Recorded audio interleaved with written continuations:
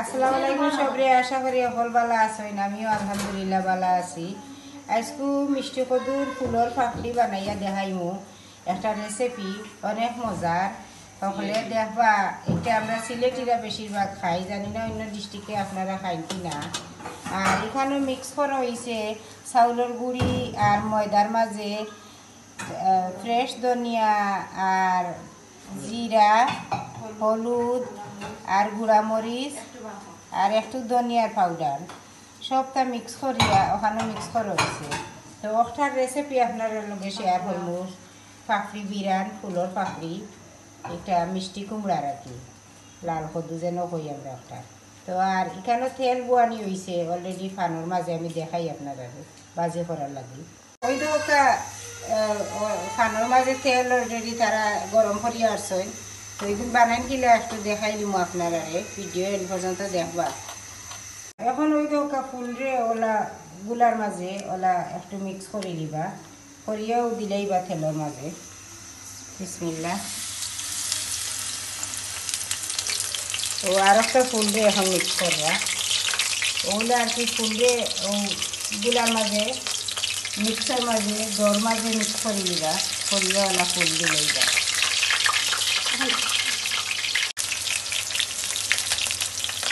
খুব মজার একটা রেসিপি এইটা পাপর লগে খাওয়া যায় হুদাও খাওয়া যায়। এমনিও স্ন্যাকর মতো খাইতে পারবা আপনারা এখন একটু করে উল্টাইয়া দিব দুই তিন মিনিট করে। দুই মিনিটও যাইতো না। উল্টাইয়া দেওয়া লাগবে না এই গলি যাইব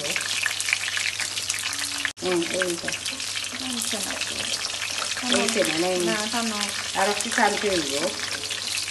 একটু ঠান্ডা ছিল ওগুলো চেক করি দেখো ওগুলো দেখি লও ফুলের পাপড়ি রেসিপিও হয়েছে বেশি ছাড়লে একবার মজা লাগছে না। এখন উল্টাইয়া দেওয়া হয়েছে ওই দেখো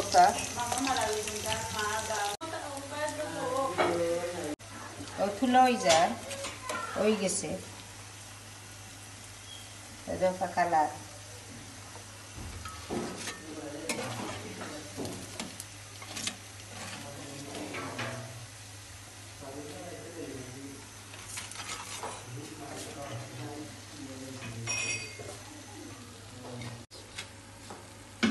বাকিগুন বাজা হয়ে যাব ওলা ওই তো ওকা ফাইনাল লুক বড়া হয়ে গেছে বানানি তো ওলা আপনারা ট্রাই করবা সবে ওলা বড়া বানাইয়া খাইতা খুব মজার একটা রেসিপি আর আশা করি এই রেসিপি আপনারা ভালো লাগছে। আর যদি ভালো লাগে, তো আমার চ্যানেলটা সাবস্ক্রাইব করবা শেয়ার করবা।